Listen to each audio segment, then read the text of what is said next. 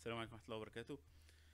آه، جالي سؤال بيقول إيه فايدة الدينامو للمهندس الانشائي قدرا سبحان الله. يعني سبحان الله فعلا قدرا إن أنا فاتح ال Revit 2018 وفاتح على الموضوع دوت تمام؟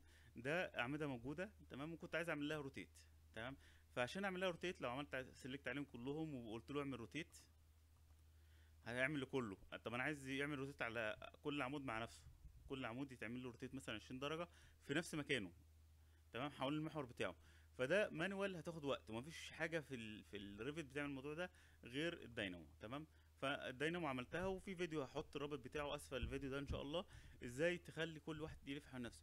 ككود ما خدش 10 ثواني. ما خدش 10 ثواني إن أنت تحطهم ورحت مشغله. ولو احتجت في أي مشروع بعد كده هيشتغل معايا على طول. ده ده ده مثال تمام؟ آه ممكن مثلا تكون آه أنت عايز تعمل آه join بين كل ال floor والأعمدة. فعشان تعملهم manual واحدة واحدة بياخد وقت كتير جدا. تمام؟ وكل مرة تفلت منك حاجة فتضطر تعيد. ففعلا بيفيد جدا إن أنت تعمل join ودي سهلة جدا من خلال الدينامو. ممكن تكون محتاج ترسم حاجة معينة ممكن عايز تغير يعني وأنت شغال مثلا ال- الشكل نفسه ال shape اتغير فأنت لما تكون عامله دينامو يبقى سهل إن أنت تغير. آه، ممكن مثلا تقول له وزع الأعمدة بطريقة معينة. يعني مثلا المعماري عامل إن المبنى بيصغر فتقول له وزع والغي الحاجات ال- اللي في الجوانب. الدينامو هي لغة برمجة من غير برمجة. تمام؟ سهلة جدا. مجرد إن أنت بيبقى عندك آه، بعض الحاجات بتربطهم ببعض. يعني على سبيل المثال مثلا حاجة سريعة كده. تمام؟ هتلاقي في في هحط لك شوية فيديوهات قوية جدا في, في موضوع الدينامو ده. خليك إيه تعرف تشتغل بيه. تمام؟ آه كل الفكرة إن أنت بتوصل الحاجات ببعض. يعني تبدأ توصل بينهم ببعض تلاقي اشتغلت ما بتضطرش إن أنت تكتب أكواد تمام؟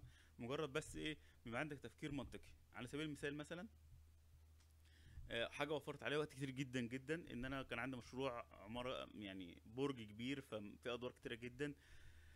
ف آه، إن أنا ا create floor plan ليهم كلهم هياخد وقت. و create لهم بعد كده floor هياخد وقت. إن أنا بعد ما اشتغلت عايز أغير الأسامي في دور طلع فعايز أغير الأسامي بياخد وقت. كل الحاجات دي عملتها بالدينامو ما خدتش مني وقت خالص وفرت عليا وقت كتير جدا. آه، إن أنا عايز ا create sheet ات فبقول له create لي بنفس أسامي ال view. الفكرة كلها إن أنت تفكر تفكير منطقي. هحط لك الرابط للفيديوهات شرح الدينامو أسفل الفيديو دوت. هتلاقي آه، إن وأنت شغال أي حاجة حاسس إن الدينامو ما بيعملهاش إن ال Revit ما بيعملهاش ممكن تستعين بالدينامو تمام؟ يعني حاسس مثلا إن إن في في ال CAD كنت بتعمل حاجة وهو ما بقاش يعملها. عايز توزع بطريقة معينة فتروح داخل على الدينامو وتفكر تفكير منطقي إزاي أوزع فبيتوزع معاك بأسلوب سهل جدا. آه، الميزة إن هو سهل جدا ما بتحتاجش إن أنت تحفظ أكواد.